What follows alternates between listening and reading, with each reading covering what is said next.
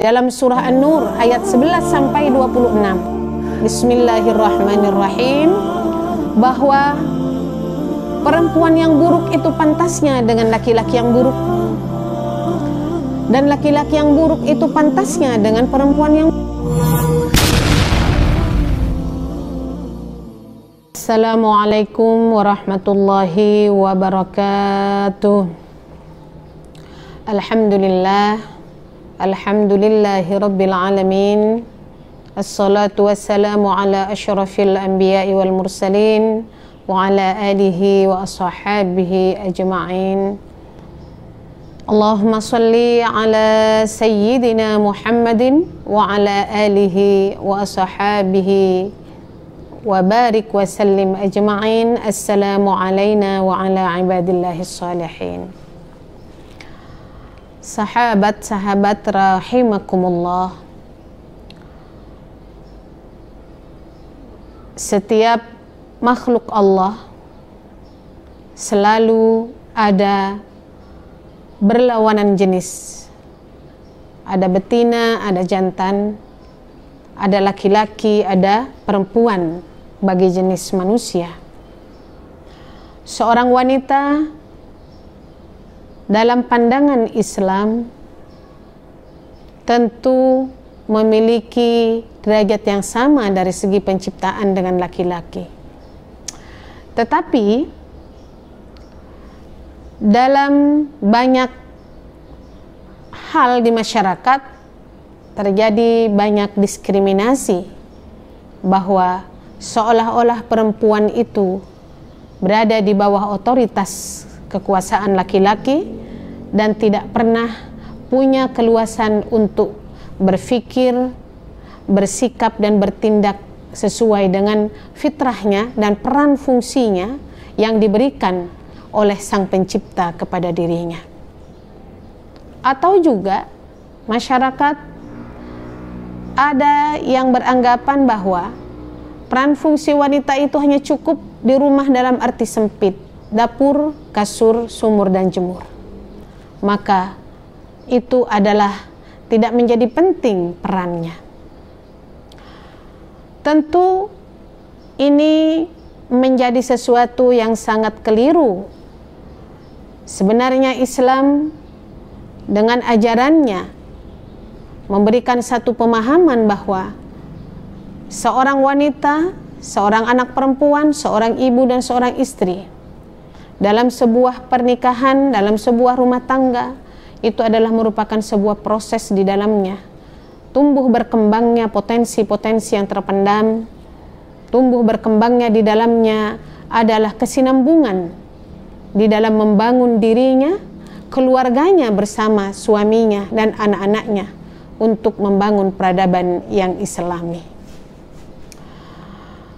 Sahabat-sahabat rahimakumullah, Lalu bagaimanakah sebenarnya peran dan potensi-potensi yang harus terbangun dalam kehidupan seorang muslimah, seorang ibu, seorang istri, bahkan seorang anak di dalamnya. Maka kita akan merujuk kepada sebuah cerita, sebuah kisah hidup kisah hidup nyata di masanya. Dan ini bukan mitos dan bukan legenda. Atau bukan dongeng.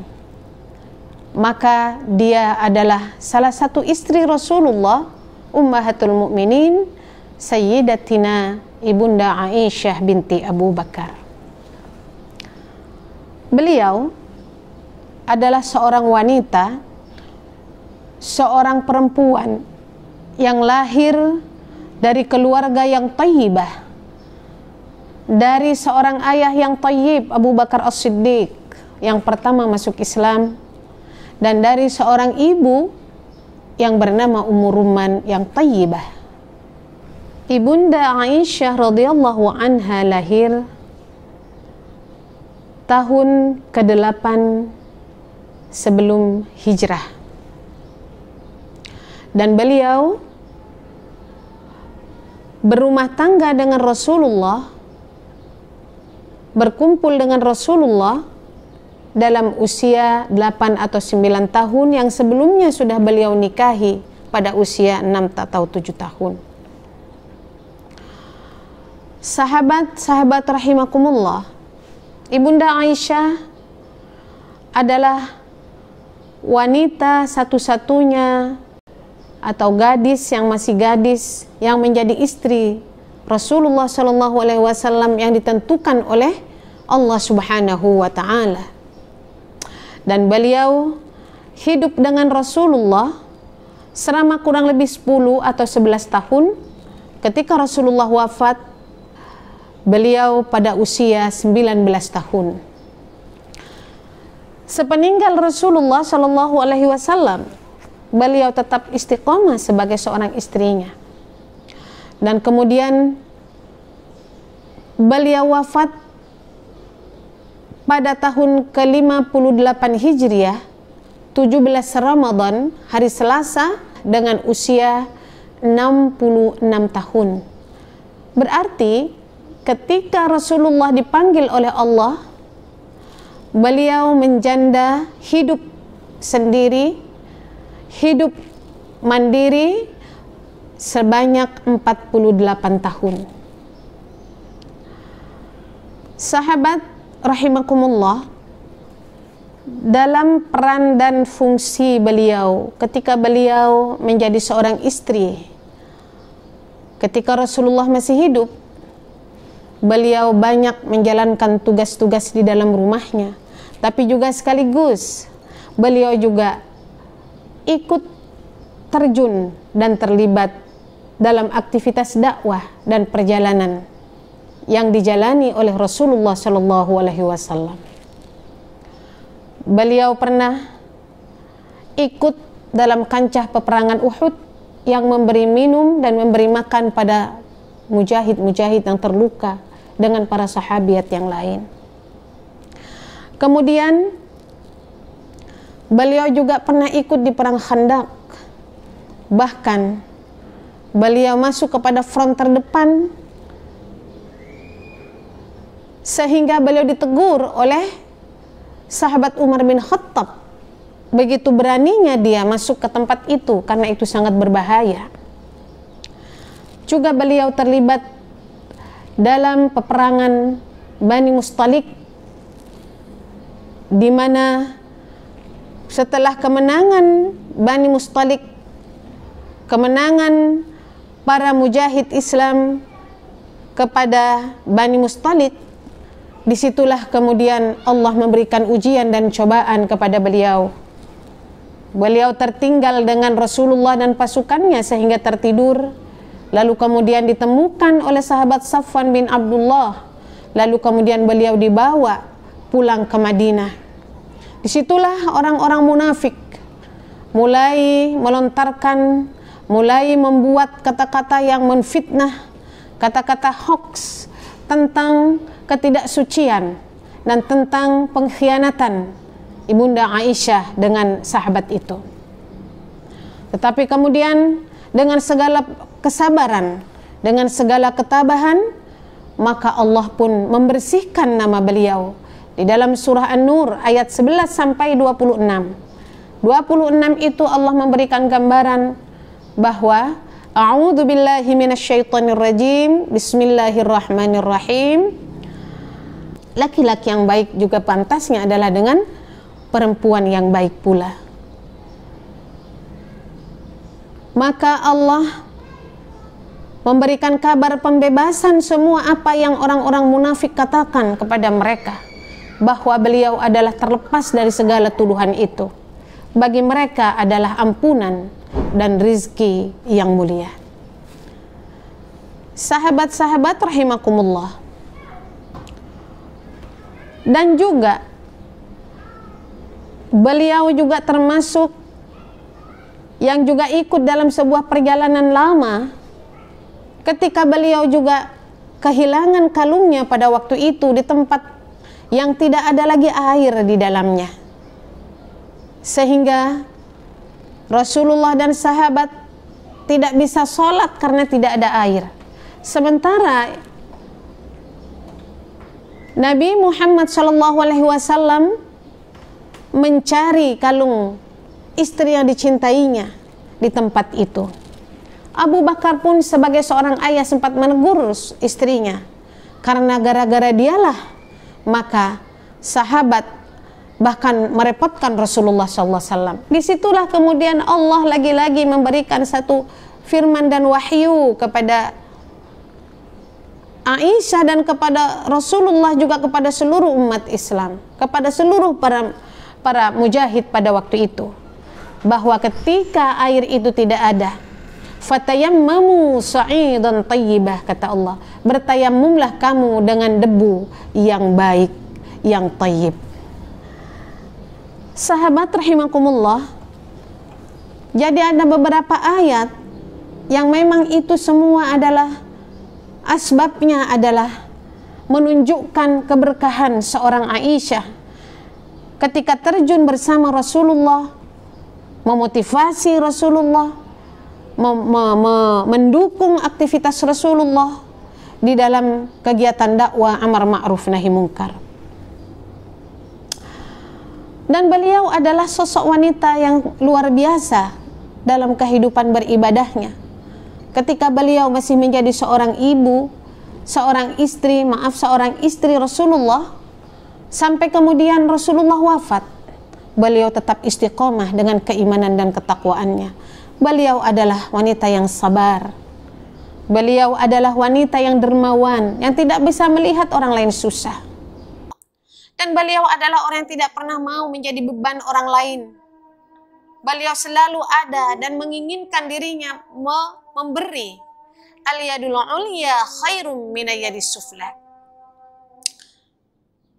Beliau selalu konsisten bahwa tangan di atas itu adalah lebih baik daripada tangan di bawah.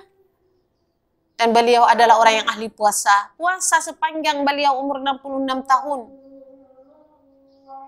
Puasa dahar. Puasa Nabi Daud seumur hidupnya. Beliau orang yang selalu sholat malam. Beliau tidak pernah tidak haji selama hidupnya di sepeninggal Rasulullah. Dan beliau adalah orang yang sangat gandrung dan cerdas dalam mencari ilmu. Sahabat-sahabat rahimakumullah, beliau termasuk empat dari tiga sahabat Rasulullah yang paling banyak meriwayatkan hadis dari Rasulullah Sallallahu Alaihi Wasallam. Dalam satu riwayat ada kurang lebih 3000 hadis atau 2210 hadis yang itu bersumber dari ibunda Aisyah setelah Abu Hurairah radhiyallahu an. Yang kedua adalah Ibnu Umar dan yang ketiga adalah Anas bin Malik yang keempat adalah ibunda Aisyah dan beliau termasuk keempat di antara tujuh para sahabat muda atau sahabat yang meriwayatkan dari Rasulullah Sallallahu Alaihi Wasallam. Beliau adalah wanita sebagai guru besar di zamannya. Beliau adalah al-ummu madrasatun, seorang ibu yang benar-benar menjadi guru dalam kehidupannya selama 48 tahun beliau hidup sendiri.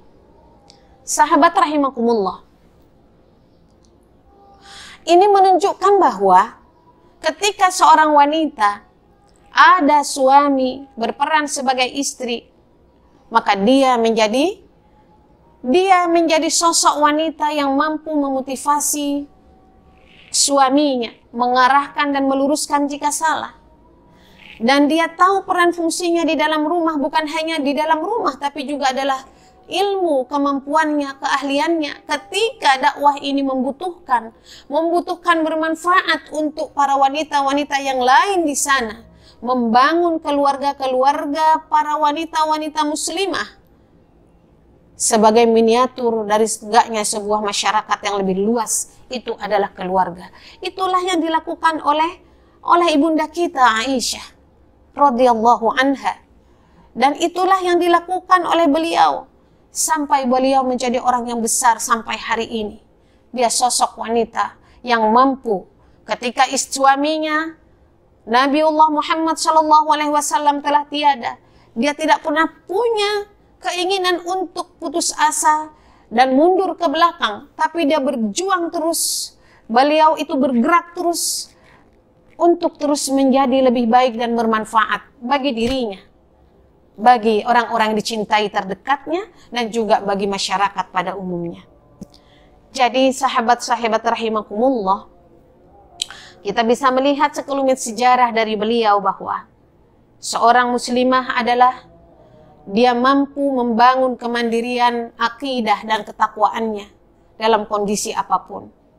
Kalau dia sebagai seorang anak, dia mampu menjadi anak yang soleh dan solehah, yang juga memberikan kurrata ayun bagi kehidupan dirinya, kehidupan kedua orang tuanya, bahkan dia mewarnai pergaulannya di masyarakat. Kalau dia sebagai seorang ibu, sebagai seorang istri, maka dia mampu, dia harus mampu mengoptimalkan potensi-potensi yang ada dalam dirinya. Seperti layaknya ibunda Aisyah radhiyallahu an sehingga hidupnya bermanfaat bukan hanya bermanfaat di dalam dapur kasur sumur jemur dalam konteks rumah sempit tetapi bermanfaat dalam rumah yang besar yaitu sebuah peradaban sebuah peradaban yang di dalamnya terbangun visi hidupnya adalah mardhatillah misi hidupnya adalah dia menjadikan akidahnya, tauhidullahnya kepada Allah.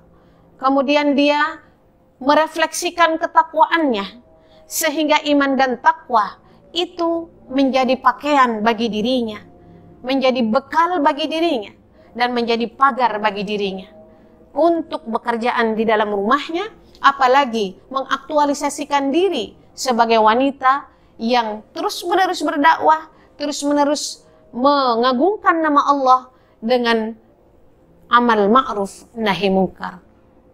Wal afu minkum hadanallahu wa iyyakum ajma'in. Wassalamualaikum warahmatullahi wabarakatuh.